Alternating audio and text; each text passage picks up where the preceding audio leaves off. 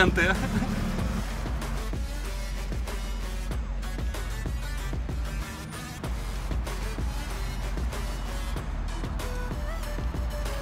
Друзья, у нас сегодня такой должен был быть замечательный тест-драйв замечательного автомобиля Lotus, но что-то как-то немного не срослось. Поэтому я, наверное, просто постою на камеру и вам порассказываю про эту чудесную и замечательный автомобиль. А может быть и нет. Не, наверное, все-таки давайте с Lotus ом так будет, наверное, намного интересней. Замечательный автомобильчик. Вот я, я не знаю, я вам не, этот, не могу передать э, те ощущения, которые вы получаете за рулем вот этого вот сумасшедшего аппарата.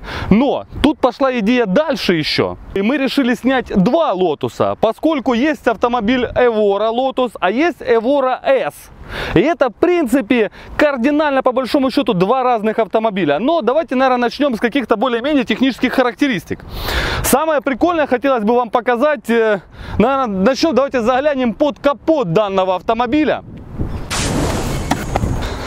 Я, правда, не, не знаю, влезет ли в кадр весь поднятый капот, что вы там увидите, но я, конечно, постараюсь это сделать. Открываем капот.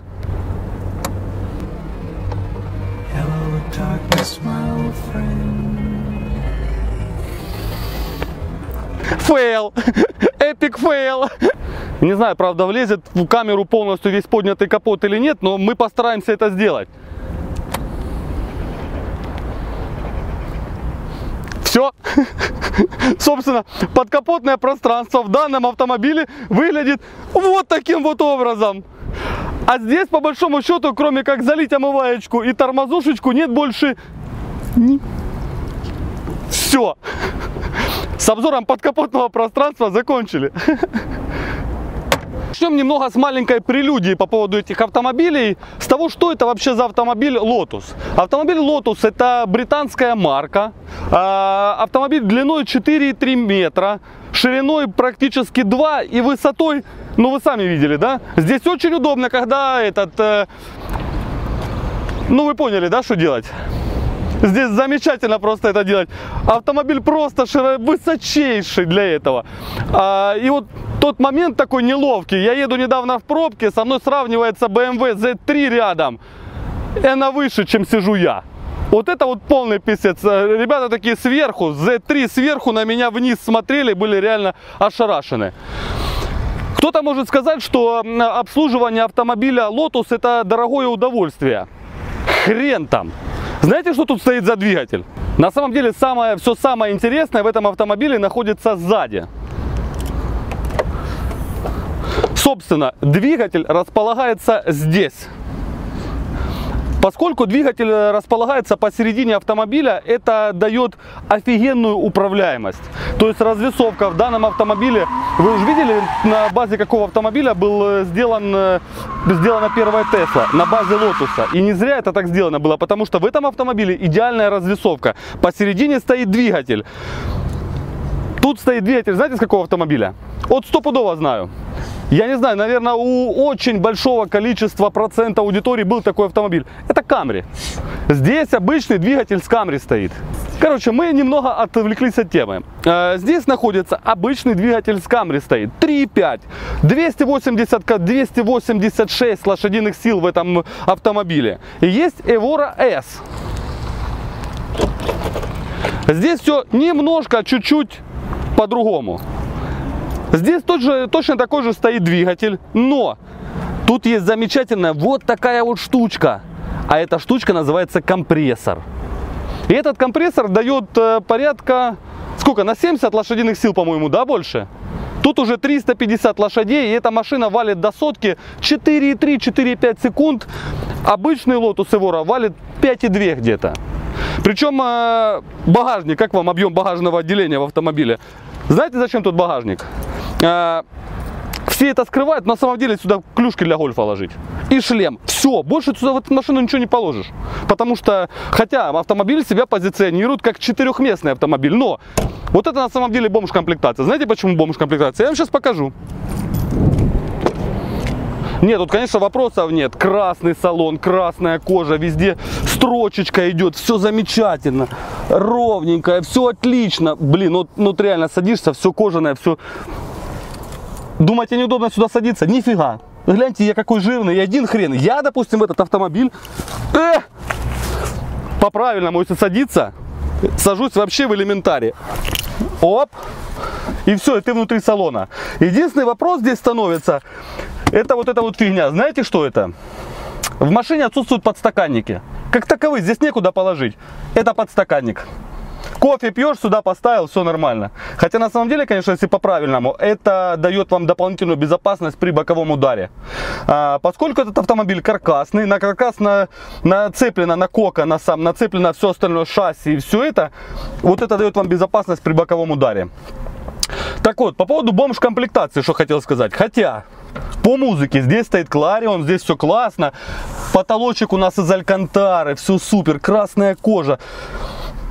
Но вот заглядывая в салон, а, отличие как бы между 2013 и 2015 годом, по большому счету, вы, наверное, вряд ли заметите. Кроме одного, вроде бы Алькантара, вроде бы все классно, но автомобиль-то четырехместный, ну как бы, да? Вы видите здесь где-нибудь э, сзади ряд сидений? Нет его здесь. Здесь нет. Зато динамики сзади стоят, для кого непонятно. А теперь пойдемте посмотрим э, на нормальную комплектацию автомобиля. Просто тут у, у хозяина этот... Тут у хозяина просто денег не хватило еще на, на задний ряд сидений. А в этом автомобиле задний ряд сидений, он замечательно присутствует.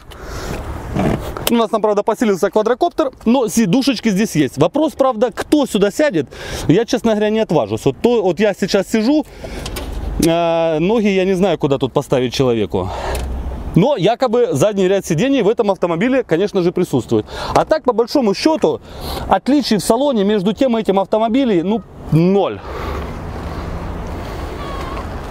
А, по поводу расхода, учитывая, что здесь этот стоит двигатель с Камри и при нормальной обычной езде а, в черном э, Эворе расход составляет по городу буквально, наверное, 13-14 литров. Здесь, поскольку стоит компрессор, расход побольше и расход составляет, ну, где-то по словам э, владельца, где-то порядка 17 литров. Это в обычной езде. И опять же, а если вы выезжаете на трассу, вот мы ехали с Киева, расход по трассе в среднем получается 7 литров. Мы валили 100, меньше 160 вообще с Киева не ехали. У нас расход был 10. Вот представьте, 10 литров при средней скорости порядка, наверное, ну 150 у нас по-любому было. Это, по-моему, шикарный показатель. Если мы возьмем э, по поводу салона. Вы где-нибудь здесь видите коробку переключения передач? Э, выглядит она приблизительно вот так вот. Вот, вот, вот, вот так, вот, вот так вот, вот. Это у нас задняя нейтралька, драйв, паркинг и кнопочка. Самая замечательная кнопочка называется спорт режим. Все остальное, конечно, знаете, в чем бок э, этих кнопок всех? Если вот эти кнопки, они нажимаются, то вот эти, они не нажимаются. Они типа, как бы, типа полусенсорные какие-то. А, в чем прикол? Когда ты заводишь автомобиль,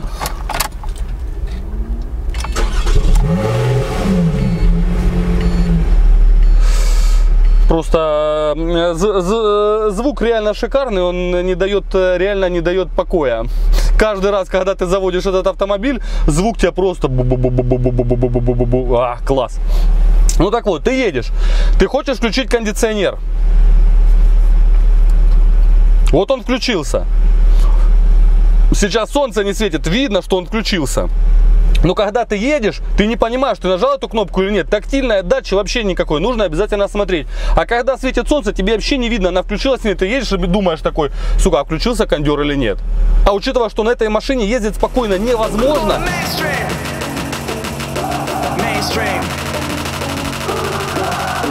Flow.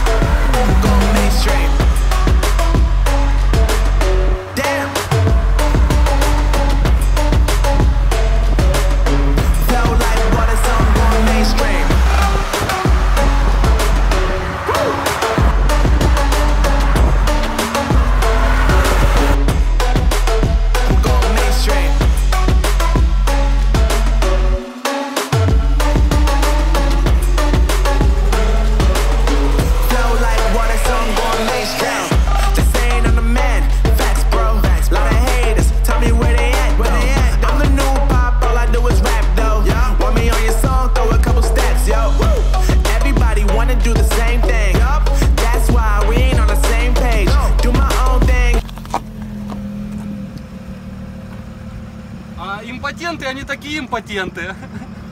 На ней можно только реально наваливать, это вообще конкретно неудобно. Кондер, ну и крутилочки.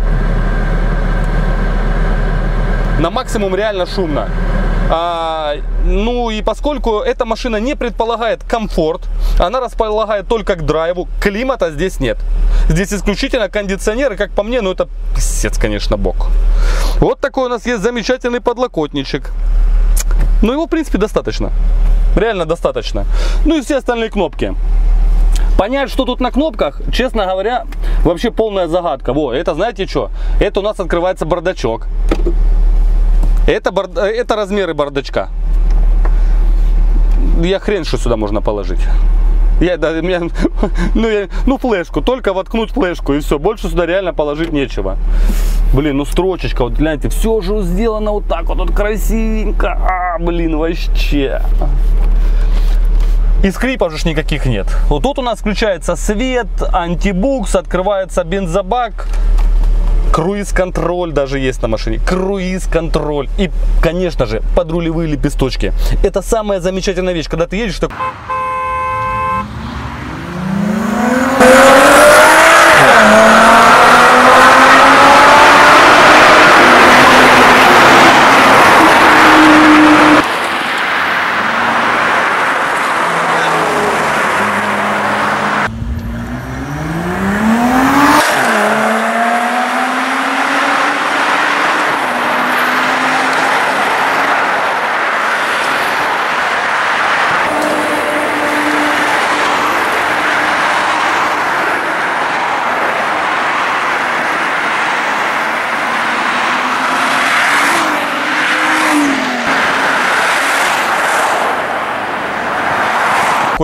а, не то, что ты нажал, а он там что-то не делает, ты реально нажимаешь, она же такая...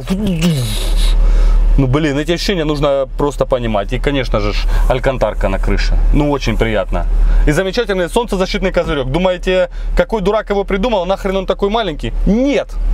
Его вполне достаточно. Тут просто щелочка получается, ну вот, вот такая. И его вполне достаточно. Он больше здесь просто-напросто не нужен. Короче, друзья, Резюмируя по поводу автомобиля, вот э, кто-то может сказать, что нахрена брать Lotus, лучше взять Porsche. Нет, друзья, реально нет.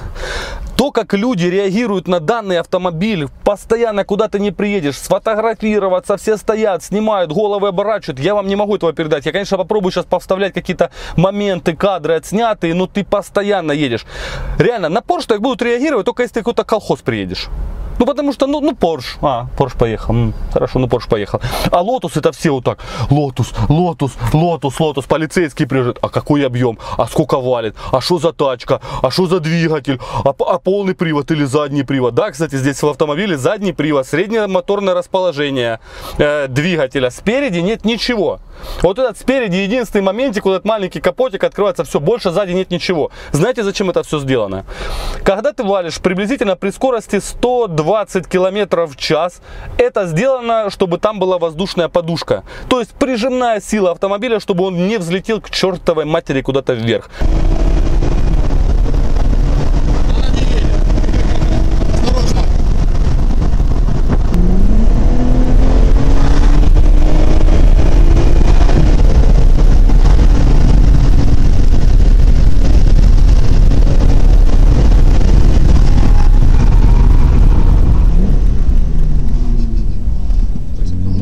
20 давление порядка 300, 300-400 килограмм создается. Для того, чтобы морда просто нахрен не взлетела. Вот так вот тут люди рассчитали. Не зря, я вот повторюсь еще раз, не зря этот автомобиль, на базе этого автомобиля сделали первую Теслу. Я не знаю, я просто реально, я хочу этот автомобиль. Реально очень, прям очень-очень-очень, очень-очень хочется такой автомобиль как-то говорят, купи Барби, купите Лотус, купите мне Лотус кто-нибудь. Друзья, ну и подведя итог э, данного обзора и вообще тест-драйва этого автомобиля, я прокатался вот на черной машине порядка, наверное, ну недель, наверное, двух-трех. Я ее почувствовал во всех условиях. Кто-то может сказать, что данный автомобиль, вот как там Porsche куда-то, это чисто автомобиль где-то по ровной дороге ездить. Хрен там. Я не знаю, как они это сделали, как они умудрились. Но Когда ты ездишь по нормальному обычному асфальту, она просто держится как вкопанная. Это не был, это был не спорт режим. Я не надо, прошу. тебя. Сейчас Я не спорт режим. Не-не-не, ну, ну, ну, машины, смотри, есть. Рома, Пожалуйста, блядь!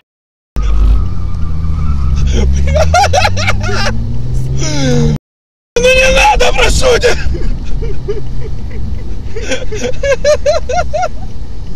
Все, все, я. Она очень, очень мощная. Все. Можно я подпишу документ? Ты куда-то в поворот наваливаешь, такое чувство, как будто там где-то такие клыки вот так вот вылазят и просто держатся за асфальт. Машину вообще просто сорвать за нос, это нужно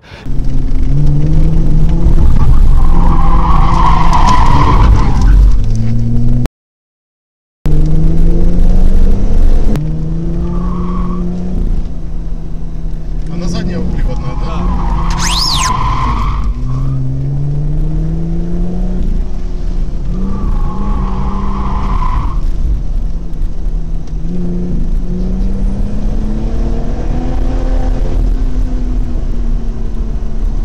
Я не знаю, что сделать. То есть ты отключаешь стабилизацию всю и наваливая дико, только потом ты можешь машину в занос пустить. А так на скорости 150 она в такие повороты просто вписывается. Хрен его знает. И в то же время, когда ты выезжаешь на обычный барыжный асфальт, вот мы сюда заезжали, тут реально дороги нет на этой площадке, чтобы заехать. Клиренс у данного автомобиля, отдай телефон, пожалуйста. Вот смотрите, iPhone вы можете померить на своей машине. Клиренс данного автомобиля. В самом низком месте. Здесь влазит iPhone. Ровно iPhone. И это самое низкое, которое есть место в этом автомобиле. Дальше там вообще свесов нет. Я не знаю, жопой можно, я не знаю. У меня на рафике клиренс сзади меньше, чем у этого автомобиля.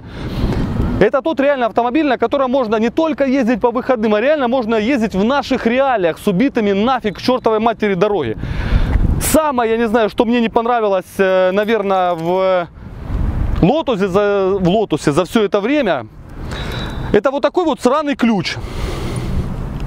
Вот такой сраный ключ. Понимаете? Как? Как можно было вот это сделать? Блядство. Ну, по-другому этого не скажешь. Это самая плохая вещь, которая есть в этом автомобиле.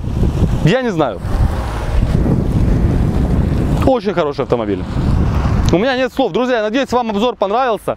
Лайки ставим, на канал подписываемся. Здесь будет еще очень много веселого, интересного и классного. И труп за 100 даю. Феррари, хуяри. Все говно. Лотус реально рулит. В наших реалиях, когда ты не только можешь выехать по центральной улице своего города проехать, а еще можешь поехать к бабушке в деревню, потому что клиренс данного автомобиля тебе позволит. Все, друзья, на этом у нас все. Мы погнали. Вам удачи и пока.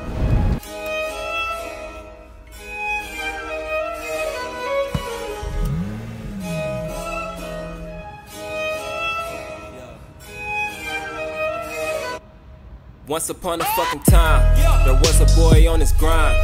Real shit on his mind. Feeling like he in a bind. Fell in love with a dime. Thought she meant everything. She probably fucked the whole team. Guess she wasn't everything. Guess I learned a lot of things. This rap shit starting to sing. Like I'm failing in my dreams. I despise everything. I divided everything. My side full of pain. I'm good at hiding blood stains. The music only kept me sane. Oh my god. More days full of Xans, less days full of pain. Pussy money keep me sane. Art and fashion keep me sane. More days full of Xans, less days full of pain. Pussy money keep me sane. Art and fashion keep me sane. More days full of Xans, less days full of pain. Pussy money keep me sane. Art and fashion keep me sane. More days full of Xans, less days full of pain. Pussy money keep me sane. Art and fashion keep me sane. Took so long, most of you probably overslept. Johnny Depp, money how I see my own self. I want this more than them. I mean this till death. Don't have a concept, conquer shit till it's wealth. Way more influence by who asked. Common sense mixed with this arrogance got me so intense. Again. Next time I'm off the bench, I made a vow to this. Heaven is in my clinch. More days full of Xans, less days full of pain. Pussy money keep me sane. Art and fashion keep me sane. More days full of zens, less days full of pain. Pussy money keep me sane. Art and fashion keep me sane. More days full of zens, less days full of pain. Pussy money keep me sane. Art and fashion keep me sane. More days full of zens, less days full of pain. Pussy money keep me sane. Art and fashion keep me sane. And may God have mercy on your soul.